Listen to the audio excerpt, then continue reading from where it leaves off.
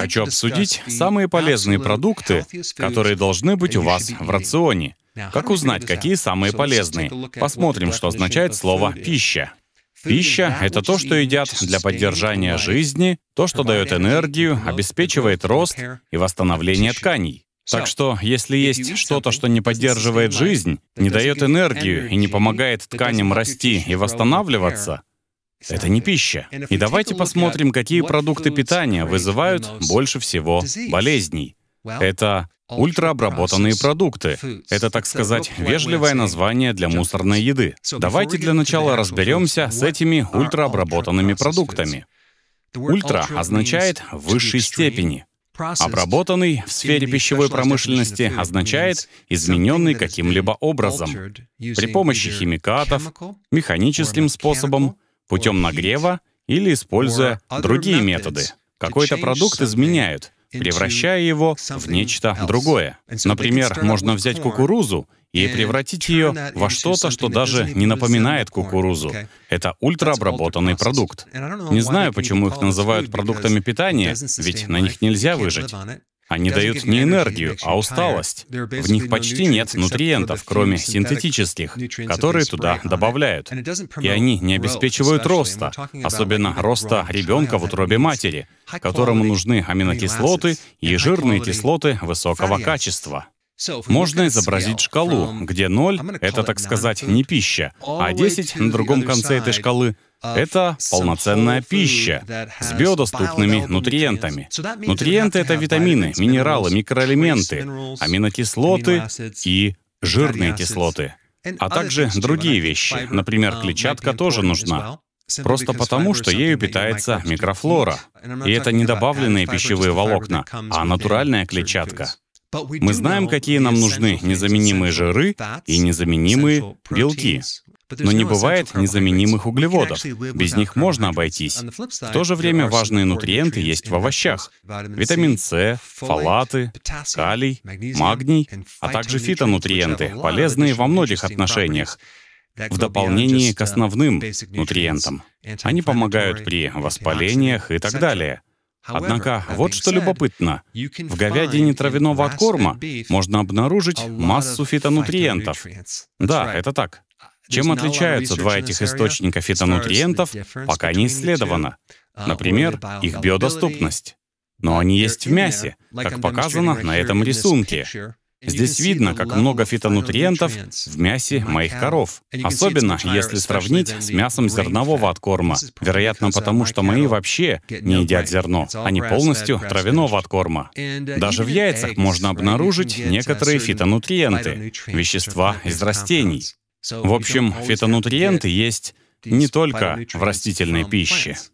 На веганской диете нельзя получить все нужные телу нутриенты, если не включать в рацион добавки, особенно B12 и другие нутриенты с низкой биодоступностью. А еще есть DHA, одна из омега-3 кислот. Кроме того, аминокислоты в растениях и животных отличаются. Можно жить и на веганской диете, я это не отрицаю.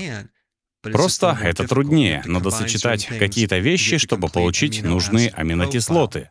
Суть в том, что в продуктах животного происхождения качество аминокислот выше. В овощах есть также и некоторые антинутриенты, например, в крестоцветных. Но с помощью готовки, в том числе на пару, их количество можно снизить. В орехах тоже есть антинутриенты. Можно замочить их на ночь, либо обжарить. Это снизит количество антинутриентов. Итак, с одной стороны у нас ультраобработанные продукты, которые реально состоят из трех-четырех основных ингредиентов, плюс много добавленных химикатов. Приведу вам один пример. Это был мой любимый снэк в колледже. Давайте посмотрим на его состав.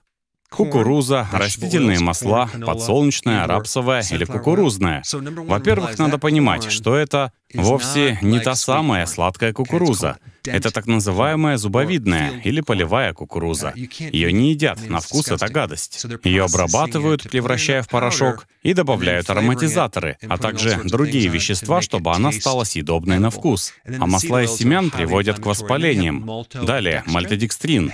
Он поднимает сахар в крови сильнее обычного сахара. Ультраобработанный продукт. Глутамат натрия для стимулирования аппетита искусственные красители, искусственные и натуральные ароматизаторы и другие химикалии. Вот что любопытно. Давайте посмотрим на жиры. Не знаю, видно ли вам. Всего жиров 8 грамм. Это на одну порцию, 12 чипсов. Это десятая часть всех калорий. Люди думают, насыщенные жиры — это самое вредное здесь. Но таких жиров всего 1 грамм, а остальные жиры — это что? Ненасыщенные жирные кислоты. Именно они причиняют массу вреда нашему организму. Растительные масла, сильно обработанные, провоспалительные. Но когда мы едим мусорную еду, нас не предостерегают от ненасыщенных жиров, только от насыщенных. Некоторые производители говорят, смотрите, здесь нет насыщенных жиров. И вы думаете, здоровая еда? Нет, не совсем. А еще они пишут на упаковке «гарантированно свежие». Гарантированно свежие. Типа как яблоки прямо с дерева? Цель ультраобработанных продуктов — увеличение срока годности, снижение стоимости и улучшение вкуса. На мой взгляд, суть здоровой пищи в том, сколько на самом деле жизни в ней содержится. Насколько мертвой можно сделать пищу, обработав ее пять раз? Большим давлением, химикатами, нагреванием. Такие продукты есть в кормах для животных и в детском питании. 67% калорий подростки получают из ультраобработанных продуктов. Да, там много химии и так далее. Но вот на что реально надо смотреть. Три базовых ингредиента — это синтетические сахара, а также крахмалы, такие как модифицированный пищевой крахмал или мальтодекстрин, и синтетические масла, ненасыщенные масла из семян растений. Именно на эти три вещи надо обращать внимание и следить, чтобы их не было в вашем доме. Перейдем, наконец, к теме видео, списку самых полезных продуктов. Номер один говядина, а именно красное мясо. Как раз то, чего все советуют избегать. Нужно мясо не зернового, а полностью травяного откорма. Нельзя сваливать в одну кучу коров травяного откорма, которые пасутся на лугу, переходя с места на место, и обработанное мясо. И я не встречал людей с аллергией на говядину. В ней много глутамина, и он целебен для кишечника. Это лучший источник глутамина. Воспаление есть у многих. Вот почему у людей на говяжьей или карнивор диете начинает заживать кишечник и уходят различные воспаления. Заметьте, курятину я не назвал. Кур кормят зерном, а это очень сильно повышает содержание омега-6 жирных кислот. Есть, правда, куры, которых не кормят ни соей, ни кукурузой. Их можно найти, но я не знаю где. Их мясо намного полезнее. Номер два. Промысловая жирная рыба, например, лосось. Средний американец получает 32% всех своих калорий в форме масел из семян. Номер три. Моллюски с ракообразными.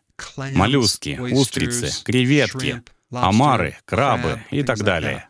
Из них вы получите не только омега-3 жирные кислоты, но и все микроэлементы, а также белок высокого качества. В устрицах очень много цинка. Номер четыре. Яйца.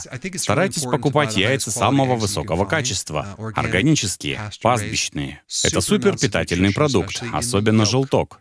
Они богаты холином, полезным при жирной печени. Номер пять. Ферментированные овощи. В основном я имею в виду квашеную капусту или кимчи. Причина, по которой я включил их в список, состоит в том, что это отличные пробиотики.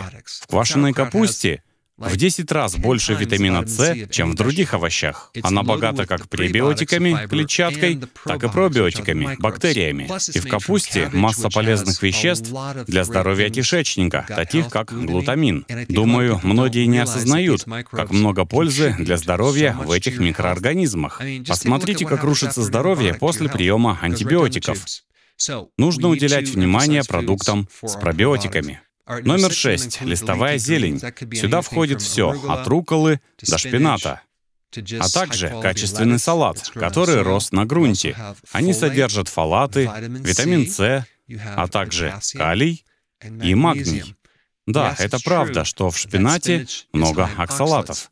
Но если есть его вместе с сыром, либо термически обработать, количество оксалатов снизится.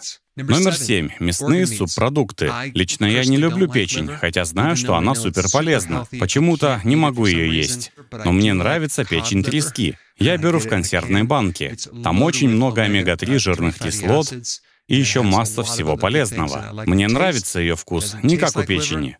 Номер восемь. Некоторые растительные специи. Здесь я имею в виду чеснок, лук, шалфей, тимьян, Морскую соль — это не растение, но я ее сюда включил. Базилик и корицу. Все они содержат особые соединения, полезные в разных отношениях. У меня есть очень популярное видео, где я подробно рассказываю о лучшем продукте от воспалений. И я хотел бы, чтобы вы тоже это знали.